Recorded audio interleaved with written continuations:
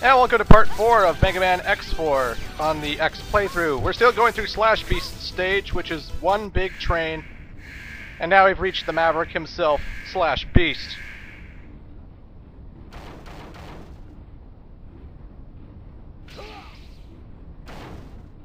Challenging my unit was both foolish and reckless. You are nothing more than my prey, one that is soon to be retired.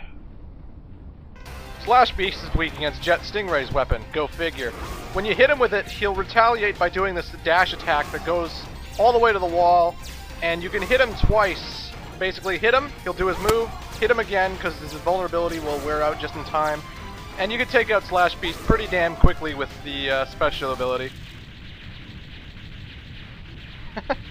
the Mavericks look like chumps in this game, but if you actually play the game as Zero, they're they don't go by the weakness rule of when you get hit, do a certain pattern, you know? X is by far the easy mode of the game, if you want my honest opinion, but we'll be playing Zero's playthrough later. Not that Zero's is, like, so hard the game is cheap, it's just a little bit more challenging.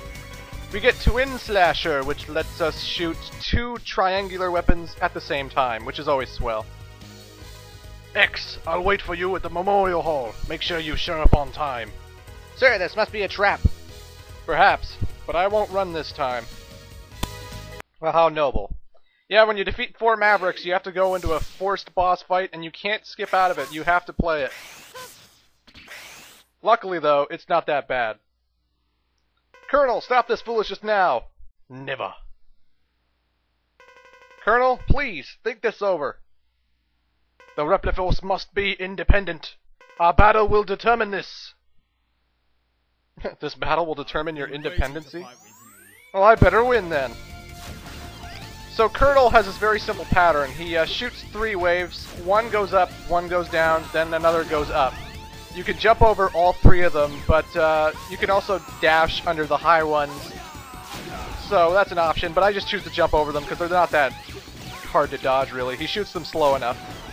When he disappears, he reappears right in front of you and then slashes. So that's basically the easiest strategy to know is as soon as he disappears, jump backwards and he should miss you.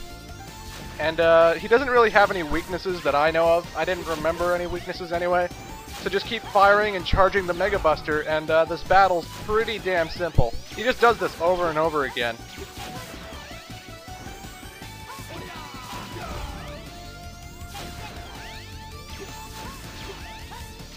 And I wish there was more to say. but really, that's it. It's just that basic. Colonel's pretty easy to beat. Impressive, but the result won't be the same next time. Until then. Colonel!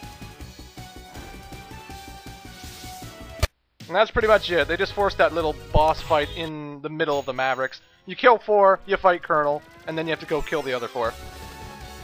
So anyway, let's go take out Web Spider. He protects the secret weapon of the jungle. Whatever that weapon is, we never discover. This is actually a very easy level, and uh, it's good for first-time players. I know I played it first because it just seemed like a grassy area is usually the first place you want to play. Because grassy areas, that must be easy, right? And Web Spider isn't necessarily that challenging. He can really rough your shit up if he touches you enough, but if you can dodge his attacks well, he's not that bad. But when we go to the right here... Oh, Dr. Light Capsule! Hooray! This battle should never have happened, X. Why must Reploids fight each other? Uh, I asked this all last three games, Dr. Light. We're never gonna know the answer to this fucking question. Equip with this to discover the truth. Equip with this boot module and jump twice in the air to hover. You can move either left or right and will remain airborne for a few moments. It is effective for negotiating through higher and more dangerous terrain. Stop this tragic war as soon as possible. X. So how did Dr. Light know that uh, there was going to be a war between the Reploids? Well, the Light Capsules, as it's been shown in X4 and onwards, is apparently some kind of virtual AI that is sentient and it's alive and it knows everything about everything that's going on around the world. So the Dr. Light he didn't just make capsules to leave upgrades for X, he also left an AI program that could necessarily talk to him and teach him about Dr. Light or something. I don't know, but, you know, the AI is alive. Dr. Light is alive in a computer form, if that makes sense. I don't know, it sounds retarded, but in X6, uh, I know one of the light capsules you can actually ask about the ending in X5, and Dr. Light will, won't answer anything. But I'm giving way too much away by talking about that. As for Web Spider's level, pretty simple, and especially since I got the Dr. Light capsule, because now we can air dash, and air dashing is always great. I can't imagine a Mega Man X game without it. We can also hover, but it's a pretty useless ability.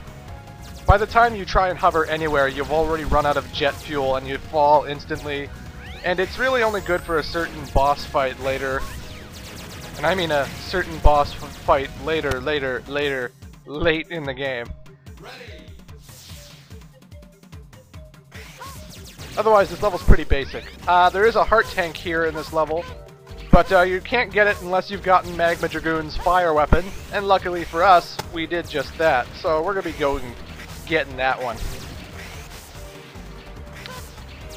There's a lot of robotic beehives in this area. If you take him out, you can take him out and the bees with one supercharged Mega Buster shot. So I'd recommend charging up your Buster for this area. Because there's tons of beehives, folks. Tons of them. And you do not want to be stunned.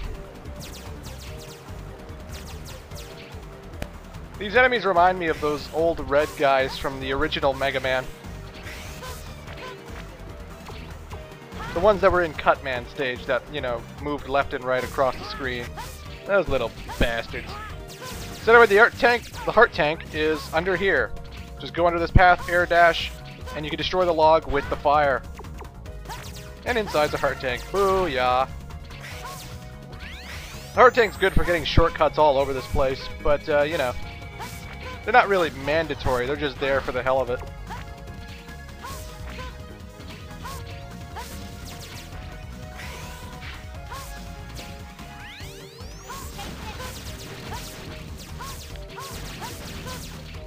But folks, we finally reached the Maverick. We finally reached... reached Web Spider. Jesus, I'm stuttering like Dr. Light now all of a sudden. Let's fight Web Spider! Warning! oh, there's the weapon. It's a gigantic cannon. I'm sure that's gonna be fun. You've labeled us all as Mavericks! I won't let you pass! Turn back now! No? Well, I guess I'm gonna have to kill you then. So we can get Slash Beast weapon, but not really. It's his supposed weakness, but it doesn't do that much damage to him, and, you know, maybe I should have just resorted to using the X-Buster, but I don't know. He shoots this web, which is pretty damn good at homing in on you, and it's pretty hard to dodge. Uh, all I can say is be quick, maybe let it come to you a little bit close, and then dash out of the way right when it's about to reach you. But even then, it can catch you that sometimes like that. Or better yet, just do what I'm doing, because I seem to be a, doing a good job dodging it. At around half health, he'll create this spider web. Don't worry, the web can't hurt you. You can run into it. Uh, but he will be dropping bombs, spiders, and all kinds of annoying things. And you can keep hitting him. He won't be hiding in the trees anymore, so now the fight will go around a lot smoother. But he can also spawn the webs himself a lot quicker. Otherwise, the web spider is pretty damn simple. I took him out with no problem. And with five heart tanks so far, it's easy to see why. Yeah! By defeating Web Spider, we get Lightning Web. It is an attack, you can destroy enemies, but it's basically, it's a way to create a wall in midair so you can wall jump to a higher place. And it's good for getting a secret item in Frost Walrus's stage, and it's going to be good for getting a certain Dr. Light capsule in another Maverick level. But until then, this is Split Mushroom.